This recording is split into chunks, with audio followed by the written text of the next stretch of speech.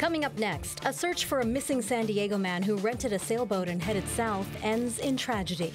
The murder trial date for Larry Millete is delayed yet again in Chula Vista Court.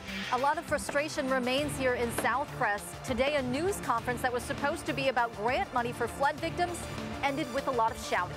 Do you recognize this tattoo? It was on the arm of a man who was murdered almost 40 years ago and still hasn't been identified. How the University of San Diego is raising awareness about neurodivergent learners. Who I am makes a difference. Grandma Sparky and her dream of honoring a billion people with blue ribbons. CBS 8 News Live at 6 starts now. We begin with a tragic end to a days long search off the coast of the South Bay and northern Tijuana. The body of a missing boater has been found. Thank you for joining us. I'm Carlo Cecchetto. I'm Marcella Lee. Officials say 27 year old American citizen Victor Osvaldo Villarreal went missing Friday after sailing a rented boat from Coronado to his family's vacation rental home in the Playas de Tijuana neighborhood in Tijuana. CBS 8's Jesse Pagan has been tracking the search and the discovery this afternoon. Jesse. Hey guys, all of this has been developing throughout the holiday weekend, ending just a few hours ago when Mexican officials found a body in the area where Victor was last seen. According to our news gathering partners at Televisa in Tijuana, his family confirms the body is Victor's. The discovery is the culmination of days of searching. Televisa reports the family plan to spend Easter weekend at a rental home in the Real Mediterráneo neighborhood in Punta Banderas along the beach in Tijuana. Victor, a U.S. citizen, rented a sailboat in Coronado and sailed it south into Mexican waters to meet his family. After meeting with them, Victor set out to go back to the sailboat on a dinghy. La lancha se descompuso, eh, trataron, se le metió agua al motor. But that's when family says the dinghy's motor wouldn't start and Victor decided to swim swim back to the boat. Witnesses and his family say they saw him get very close and assumed he made it once the boat's lights turned on. However, his family started worrying Saturday, and that's when they reached out to police. The weather made it difficult for search crews to go out into the water Saturday. Televisa reports the search started in full with several agencies on both sides of the border Sunday. Our cameras caught friends and family as well as the Coast Guard searching off the coast of Imperial Beach today. And now we come to the end of that search. Televisa tells us they expect more information from a press conference from Mexican officials. Soon as we get some more of that, we'll give it to you.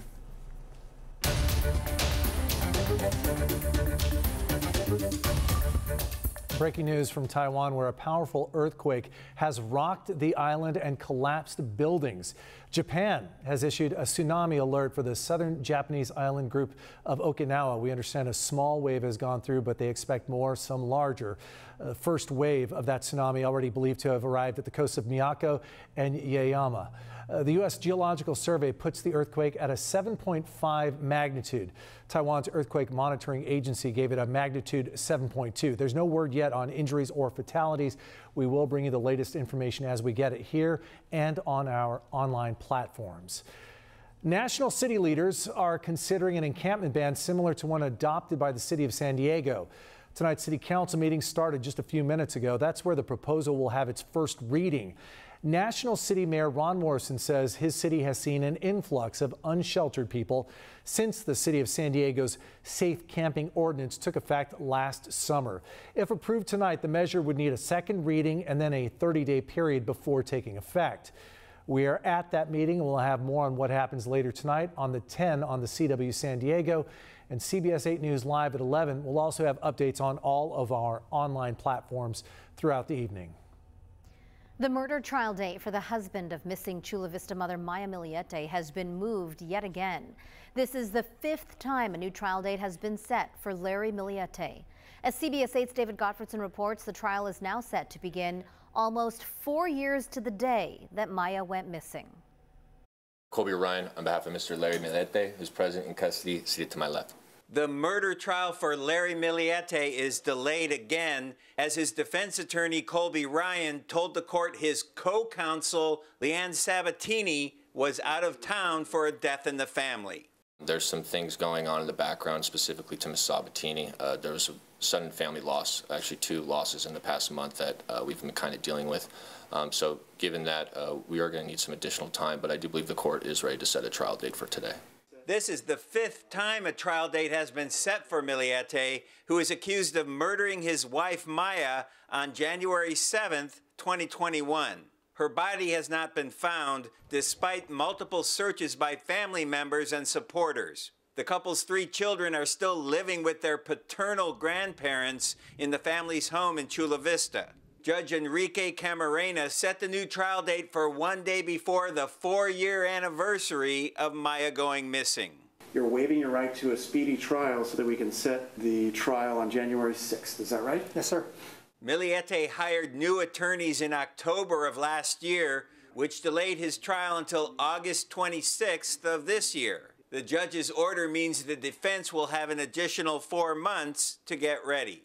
I'm picking a trial date only because I, I think by January 6th, um, I think Ms. Sabatini and Mr. Ryan will have had the case, I think, close to a year, and I think that's sufficient time to prepare. The 42 year old father faces 25 years to life in prison if convicted. The judge said he is not inclined to delay this trial again, so it looks like January 6th is a solid date. Larry Millete will be back in court on August 5th. At the Chula Vista Courthouse, David Gotfredson, CBS 8.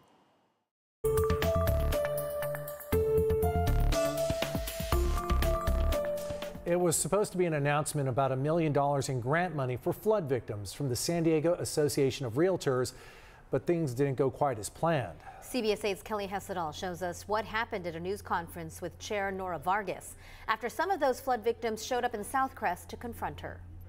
Everything started pretty typical. We heard from several speakers and then some neighbors in Southcrest who are clearly still very frustrated with the city and the county's response to this disaster, confronted Chair Nora Vargas. Take a look.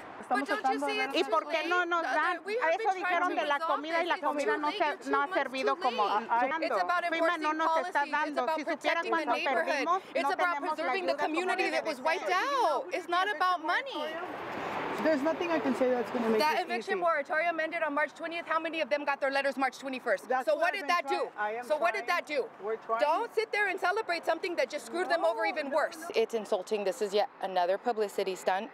We have yet to see Nora Vargas on any of our blocks. We have yet to see her help. It's been two and a half months, and all of a sudden she shows up to announce that realtors want to donate funding. It's an insult. And that was Clarissa Marine. Uh, she was joined by a handful of other neighbors. Some are living in hotels right now and say they have no idea what's next for them. Now, the Realtors Association today announced grant money of up to $2,900 per household, which they say equals about a mortgage payment or a rent payment. But the neighbors say the problem is some of them have already been evicted by their landlords and now can't find anywhere to live that's affordable. This county deadline now looms. The county says by May 11th it wants all 800 households living in hotels to transition out of those hotels to other places. Now, I spoke with Chair Vargas. I let her respond to some of the claims that uh, she showed up today just for publicity, and here's what she said. Look, the reality is I've been here many times. I don't call the press to come to these meetings today. The realtors asked me to be here with them so that we can share with the information with folks about what the grants are. I've been here many times, but I am not the kind of politician that's going to put pictures about what I'm doing with the community or not doing the community. I'm just getting things done. And just to give you an idea of what Southcrest looks like today, uh, we still saw plenty of activity going on now two and a half months later. Homes where it's clear, cleanup is still underway, and there is still a lot of construction happening. Now, Chair Vargas tells me there are case workers that are working with each household that is uh, staying at a hotel right now. She tells me no one is going to be kicked out onto the street. As for the uh, relief money offered by the realtors, if you would like more information about that, we have a link set up on our website, cbs8.com. Just click on the help button. Kelly Hessedal, CBS 8. Thank you, Kelly. San Diego home sales are up as the median price for a home rises. According to CoreLogic data, which tracks the housing market, just over 2,100 homes were sold in February. That's up from a record low of less than 1,700 in January. CoreLogic says the median home price in San Diego County is now $825,000. That's up about 10% in the last year. Realtors say an increase in supply could have helped boost sales. California is opening up its lottery system for the Dream for All program. Registration starts tomorrow, and here's what you need to know. This taxpayer funded assistance program offers first time homebuyers 20% of the down payment or closing costs up to $150,000. To qualify, you must be a first time homebuyer and first generation homebuyer. You also must earn less than $185,000 in income a year and have a credit score of 660 or higher. This year, it's a lottery system instead of first come, first serve. We still don't know for sure what those mysterious streaks of light across the Southern California were overnight. Many people believe it's debris from a SpaceX rocket that launched at Vandenberg Space Force Bay last night. But Space.com is reporting it was a big piece of Chinese space junk that crashed to Earth and caused those streaks of light. They're attributing that to the American Meteor Society. People up in Los Angeles, Orange, and Riverside counties reported seeing these streaks. The lights appeared to break up into pieces and then scatter. Still ahead tonight, San Diego Sheriff's detectives reopen a 40 year old cold case and need your help. Plus, the results of the April annual snow survey in the Sierra and what Governor Newsom is saying about our water supply. We're seeing a lot of sunshine right now. We're going to see more of that tomorrow, but we do have another storm system that's going to be packing a punch when it comes to cold air coming up. And how you can help encourage and empower neurodivergent people on this World Autism Awareness Day.